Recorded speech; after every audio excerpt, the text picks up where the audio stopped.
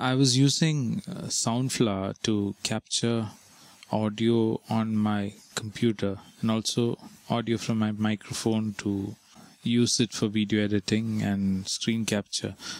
But enter Catalina and now Soundflower doesn't work properly. So there is an alternative and I've actually tried out many different methods and found this to be the best. So I thought I'll make this so that even I can refer back at later point in time if I have to do it again. So what you do is you have, like I said, Soundflower is the option at a certain point.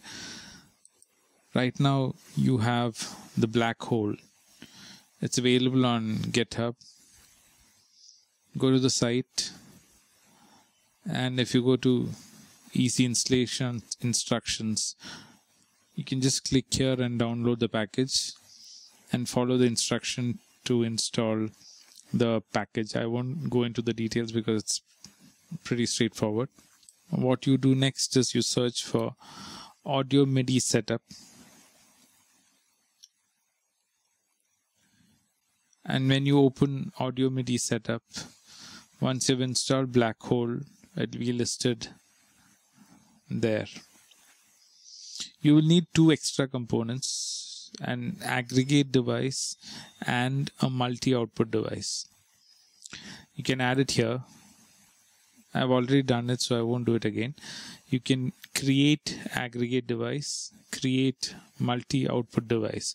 Now what that does is the aggregate device acts as your microphone. You can see the microphone symbol here and your multi-output device acts as your output basically what you would hear through your system. The good thing about these are in your aggregate device you can include multiple inputs as your source. And your multi-output device can output your system sound a combination of sounds through multiple outputs. So here what I've done is I've selected BlackHole as a device and also the Sennheiser USB headset that I'm using right now. And if you have configured other devices and if they're offline, it'll show that it's offline, but that's okay. You don't have to untick it. So here what I've done is I've selected the Sennheiser USB headset and also the BlackHole and the clock source I've kept it as Sennheiser. Another important thing is in the sample rate please note that all the sample rates should be the same. If you accidentally select a different sample rate, you might get a small jitter in your audio and in the multi output so aggregate device we have actually combined the Sennheiser and the BlackHole. Black hole what it's doing is it's actually acting as a channel to take in the computer audio the mac audio and bring it out through its system. So right now we've got the computer the mac audio and also the mic audio combined into an aggregate device.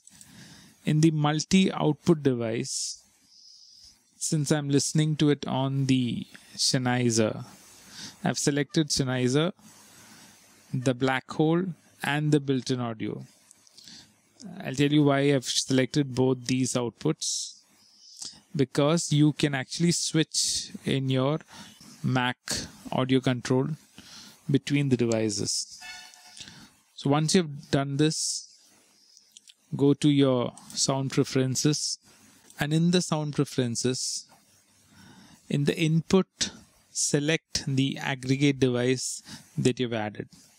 So basically you are now combining inputs from the BlackHole and the Sennheiser and that's becoming one input.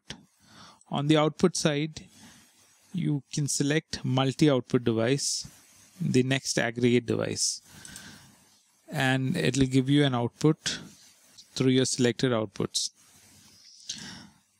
Now right now I'm recording this through my USB mic and I'll just play a track from YouTube.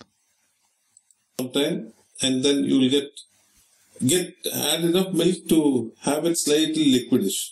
So right now that is and then put it back on the fire. playing along with add some pepper white pepper my voice from the mic. Or black pepper okay. I'll pause this.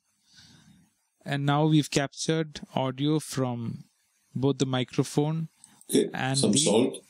YouTube some channel. oregano if you have it.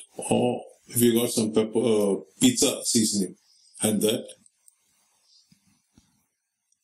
Now recording this, you can use multiple options. You already have QuickTime Player. So if you don't have any other software, I use Camtasia for my presentation. So right now what you're hearing is coming through Camtasia. In QuickTime, you can select new audio recording. You can actually select the device as aggregate device. And you can see that as I speak it's taking the inputs. And if I play the YouTube video and keep stirring. And at this point of time you got option is adding some so I'm not press pressing record right now because if I press it since I'm already recording the system will halt the recording so this is how you do it. So you press record you record the file and you have audio from both your microphone grated cheese to it. And you your, buy and your system. So one more small thing. When you switch back to the output device that you normally use speaker you may have a difficulty in uh, this may or may not happen. I've got this issue so this is a solution. You may or may not have this issue of no sound coming out from the speaker. So if you if that happens just click the mute once and then unmute again. So you'll the sound will pop back up. So hope uh, this video has been useful and if you like it please share and subscribe. Thank you